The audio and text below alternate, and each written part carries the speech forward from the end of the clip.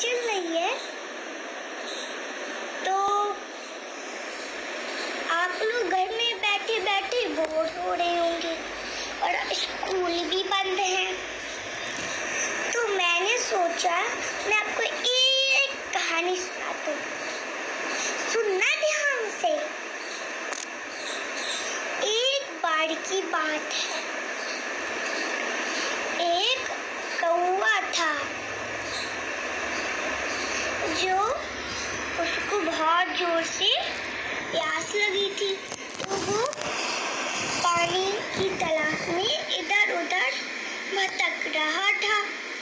तो उसको दूर से एक घड़ा दिखाई दिया। वो उड़ते उड़ते उसके पास जा पहुँचा। उसके ऊपर बैठ गया। फिर उसने अपनी चोंच डाली, पर वो चोंच आ नहीं पाई। उसके अंदर उसने एक दिमाग लगाया। उसने कंकड़ उठाए कंकड़ उठाए, उसमें ऐसे डालते जाए और पानी ऊपर आता गया।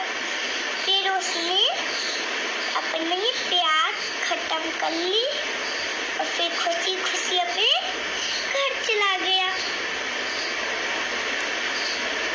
तो आप सोच रहे होंगे कि पानी कैसे हुआ तो देखो मैंने इतना पानी लिया ठीक है फिर मैंने इसमें कंकड़ डालना शुरू किया। ऐसे ऐसे करके देखो पानी ऊपर आ रहा है ना आप देखते जाओ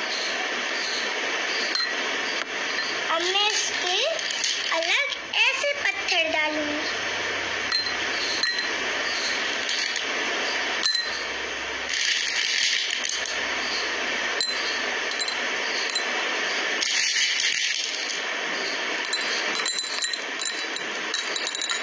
देखो दिखाई दे रहा है आपको ये पानी इतना था और इतने ऊपर आ गया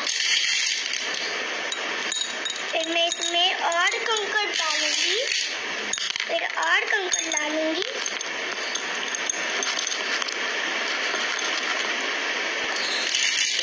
और कंकड़ डालूँगी। फिर मैं और कंकड़ डालूँगी। जितने भी कंकड़